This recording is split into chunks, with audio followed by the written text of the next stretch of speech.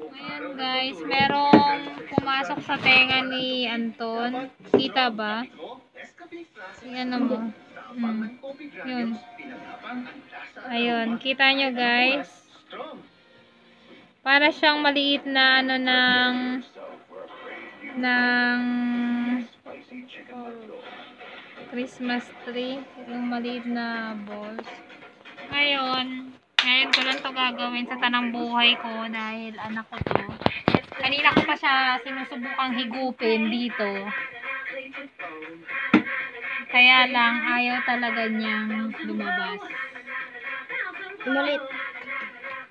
Totoo lang, nakaka, nakakapundiri itong gagawin ko guys. Kaya lang, Yung maliit wala kang magagawa pag anak mo. Gumawa na rin ako ng maliit dahil hindi kaya ng, ng ito. Pero, palagay ko nahigop ko na konti. Pero nilinis ko naman yung tenga niya.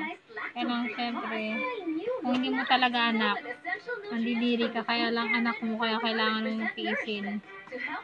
Ganito pala to.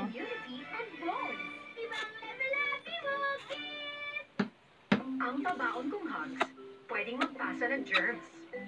Kaya I don't compromise. I trust only Safeguards 24-hour germ protection.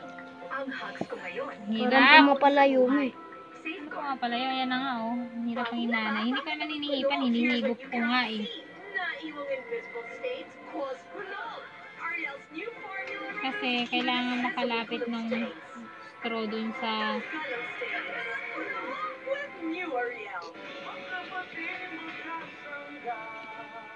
Kailangan yung, ayun oh. May balita na tayo. Kailangan yan lumapit. Kailangan lang natin palapitin. Ayan na guys, medyo kita na. Ayan. Bilog siya guys na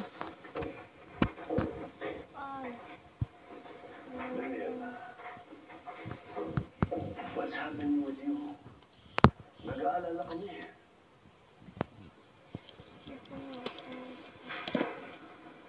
Is there anything we can do for Ayan na guys, talagang lumungaw na siya. Kaya lang delikado pa rin to.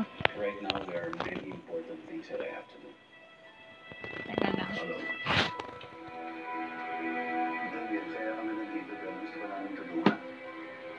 Ko. Okay na kuya. Ayan, naghahanap kami ng ano ni Anton para sa tenga. Wala kasing doktor. Dun sa mag-ano sa kanya. Para sa tenga. Tingnan natin. Hawakan mo to. Tingnan. Tatanong tayo.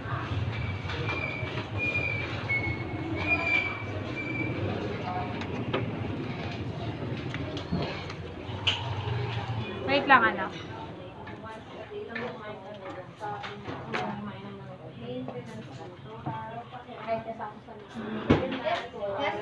Yes. Ah, tatanong ako, meron ba kayong doktor para sa ano, yung may kailangan tanggalin sa tenga? Meron lang kasi January na po pala. Kailan po? Ay, January. Anong ano po kaya, ma'am? Monday, Wednesday, Friday. Sa Monday, ay ano, New Year na pala. January na po pala. Oo. Ayan, salamat po. Wala, sarado din. Ay, ano din. Ito, meron akong sa tenga, ayan. Next week pa. Ako, Anton, tanggalin mo na talaga yan sa tenga mo. Huwag mo na hintayin ng doktor. Tara, punta muna tayo sa ano. Yan guys, hindi wala nang mga doktor dahil nga mag New Year na. Kaya ayun. Hindi pa matatanggal yung nasa tenga niya.